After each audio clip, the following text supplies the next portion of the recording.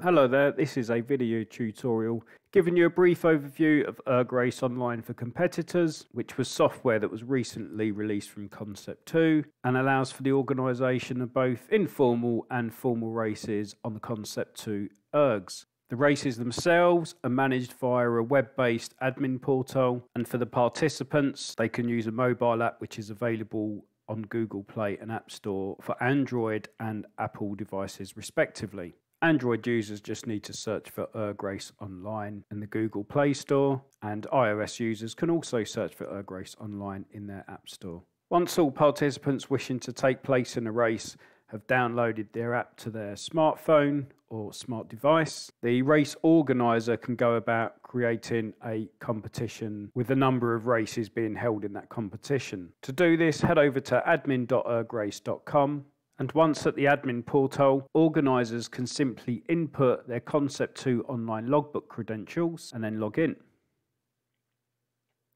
For the purposes of this demonstration, I'm going to set up a single 100 metre race, so I'm not going to be racing anyone myself, but I'm going to give you a view of what the portal will look like and what the phone display will look like simultaneously as I go through the process. So first of all, I need to create a competition I'm just going to call this test Gordon. Click the create new competition button. And you'll see here on the left now the competition has been created and it's got some kind of default information in there. There's a couple of things to pay attention to here. First of all, there's the competition code. Anyone that wants to take part in your competition needs to have this code as they will need to enter it into their ErgRace mobile app. The other thing to note is this live view URL. This can be given to anyone who wants to watch the race live on a web page. If we click on this, I can show you. We'll return to this web page later once we've got a race going. So back in the portal, I'm going to click on the competition name, Test Gordon. And after a while, we see the competition with no races listed. So to create a new race, we click on Create New Race.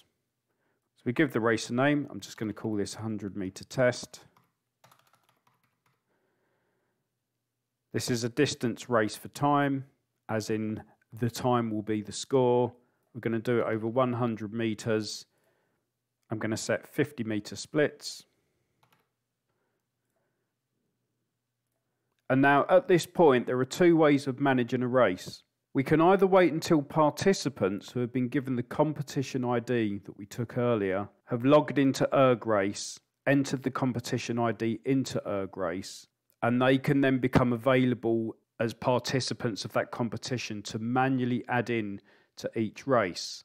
The other way to do it is in advance of each race, get the ranking IDs of each participant. And by ranking ID, we simply mean the logbook ID from the Concept 2 online logbook for that user. So back in the portal, I'm going to add a boat, which is going to contain me.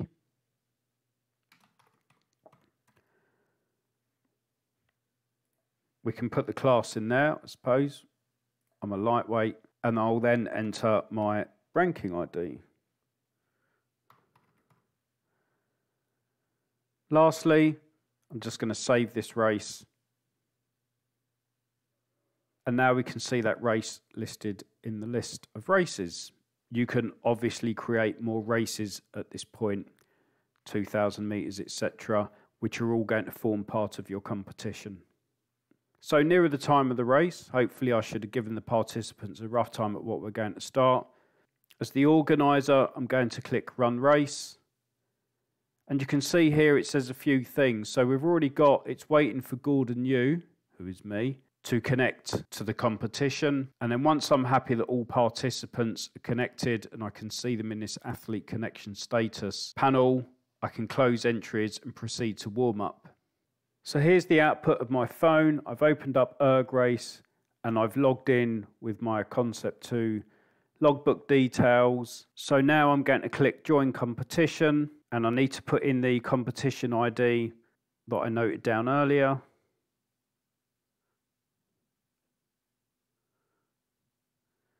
And then click Join Competition.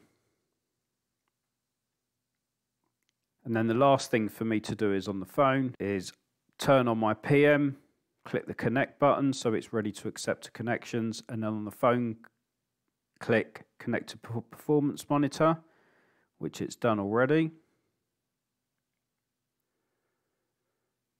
and then if I click on race info I can see that I'm connected and that I'm already entered into the 100 meter test race. So I've just moved my phone's display into the top right so you can see what's going on.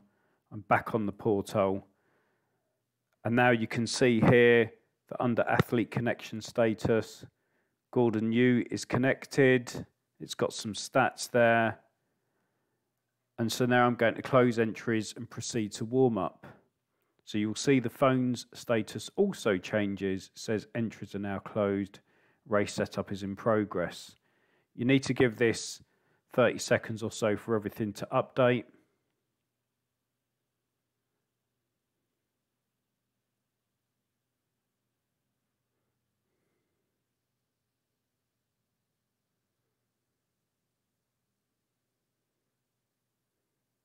And eventually you'll see that the phone's display changes.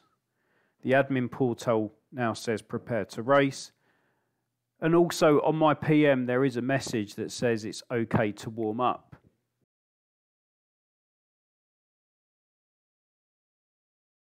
And so I'm going to go ahead and click the prepare to race button.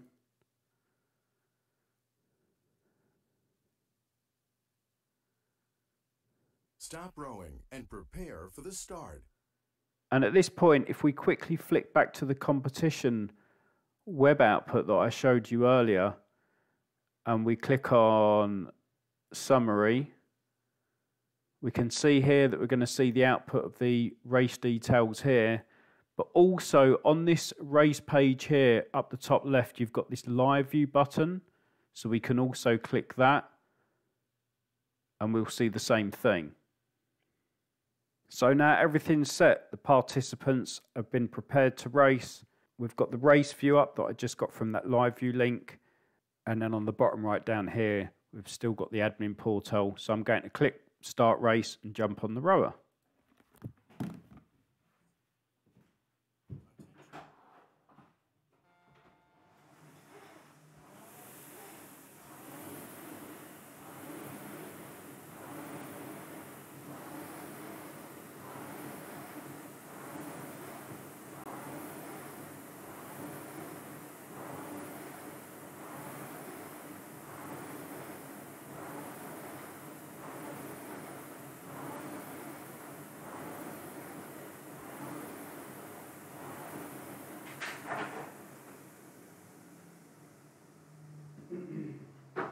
So on this live view, you can see that, of course, I came first uh, with a pretty poor 23.6, but I am wearing jeans and a jumper. And back here on the admin portal, we also get the preliminary results from the race. Uh, that's it. There's lots of other stuff that I could show you. Do read the, uh, the documentation that's available online for ErgRace if you want to know more. Thanks very much for watching.